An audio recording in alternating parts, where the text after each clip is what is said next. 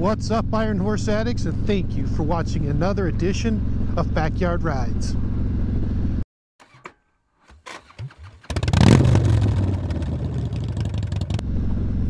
So addicts, our ride today is going to take us about five miles maximum away from my house. We're going to go up towards the Santan Mountains. Those are the mountains you see in front of me. It is late April, so we're hitting the summer season as far as Arizona is concerned. And as you can see, we're already starting to see some dry climate type situations. And really, summer hasn't even begun. I thought today what I'd do is just kind of give you an update of what we've done so far this year as far as our rides are concerned and tell you where we're headed the rest of the year.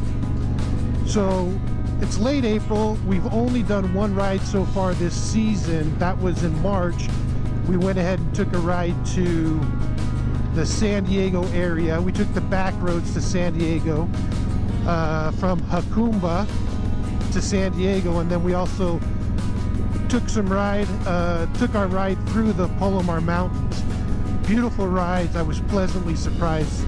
Being from Arizona, uh, I go to San Diego quite a bit, but I've never been south of the I-8 or north of the I-8 while traveling. So it was a great experience, beautiful scenery. If you haven't taken a moment to watch those videos, please take a moment to watch them.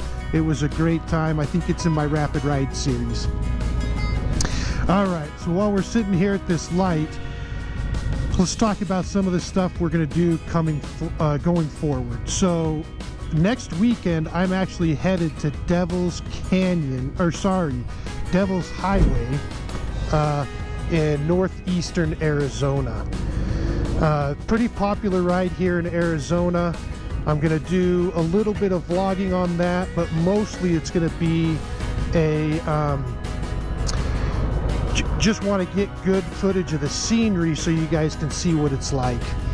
Um, lots of twisties on that route, so it's always a fun time. Also going to visit the Gila Cliff, Dwellings in New Mexico on the same trip. So there'll be a little bit of a lengthy weekend, probably about, eh, I'd say 20 hours in the saddle or so, 24 hours in the saddle. We'll go roughly 800 miles so anyways, gonna be a good time. Um, can't wait to do it.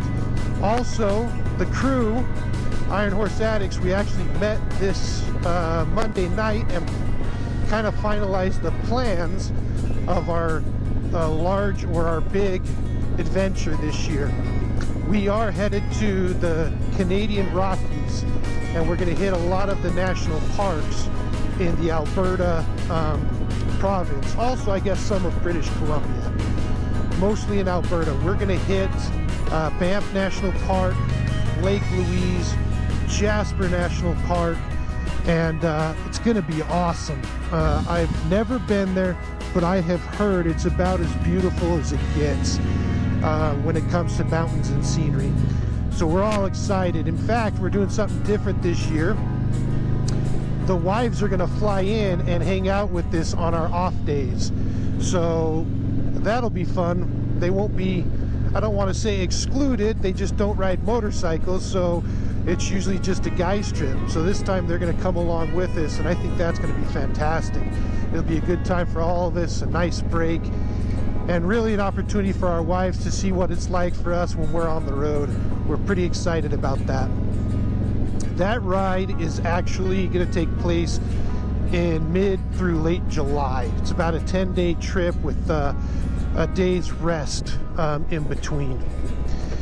The other uh, big ride I've got planned for this year is we're going to hit a lot of the Colorado Rocky Mountains, the Colorado area. There's the Hog 365 has a lot of great stops um, on their rides this year and we're I'm excited to go collect the poker chips and the challenge coins that they have offered. So we're gonna hit places like Monument Valley. Um, we're gonna go ahead and hit um, was it called? Oh, this guy lost a tire. Uh, we're gonna hit um,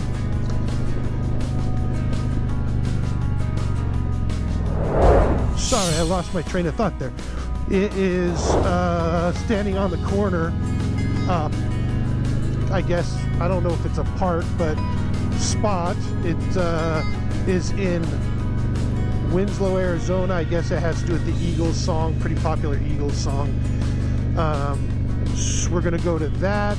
We're also gonna hit up on this same trip Million Dollar Highway. We're gonna obviously go through um, Durango, Colorado, and get up to Silverton, Colorado.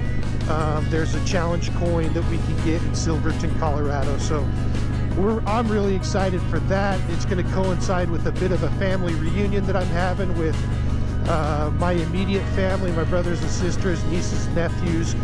Um, that'll take place uh, in Grand, not Grand Junction, sorry, um, in uh, kind of near Vail, Colorado. So it's going to be a great trip. So here, guys, here's Santan Mountains. So these uh, are popular for morning hikers. A lot of people come through here, just go on a hike every morning to get their exercise.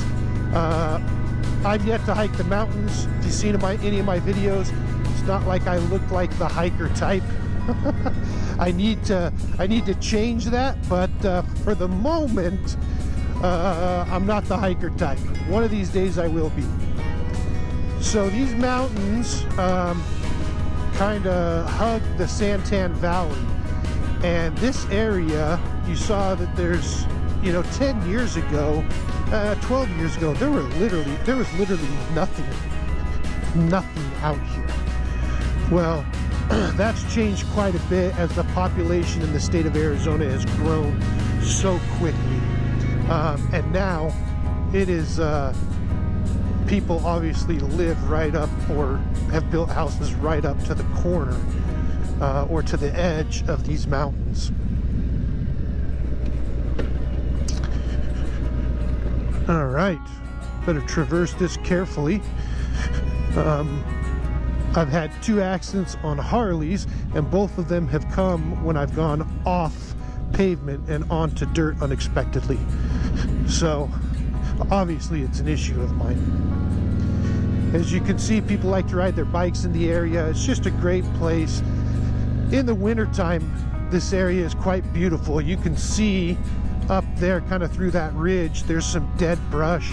In the wintertime, that's actually quite green or in the monsoon seasons, but in the monsoon seasons, it's way too hot. Nobody around here is, is hiking in August and July.